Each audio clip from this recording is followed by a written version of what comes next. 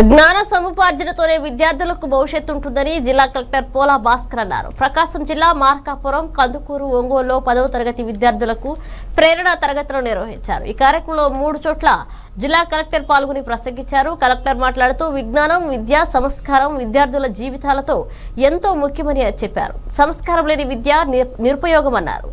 సమాజ హితం కోసం విద్యార్థులు మంచి మార్గాన్ని నిర్దేశించి కావాలని కోరారు. విద్యార్థుల జీవితాలకు మంచి ఫలితాలు వస్తాయని చెప్పారు.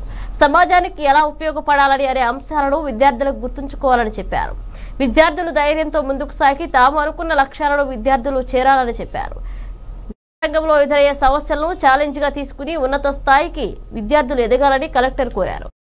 రెవెన్యూ డివిజన్ హెడ్ క్వార్టర్స్లో పిల్లలందరినీ కూడా మొబిలైజ్ చేసి అందరినీ కలిపి సబ్జెక్ట్ ఎక్స్పర్ట్స్ని కూడా మొబిలైజ్ చేశాము.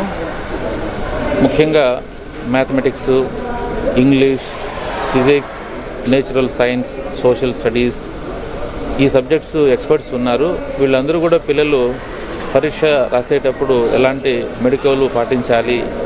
తర్వాత పరీక్షలు అంటే కాస్త ఎవరికైనా సరే ఏదైనా భయం ఉంటే దాన్ని ఎలా పారదోలాలి అనే టెక్నిక్స్ పిల్లలకి చెప్పడం జరుగుతుంది. దాంతోపాటు మరి డిఓ గారు పిల్లలకి అందరికీ ఒక స్టడీ మెటీరియల్ని తయారు చేశారు.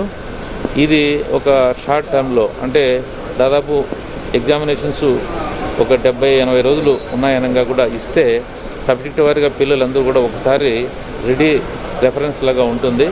సబ్జెక్ట్ అంతా కూడా మననం చేసుకొని మరి ఆ నాలెడ్జ్ని అప్లై చేసుకుంటే ఈజీగా కూడా పాస్ కావచ్చు.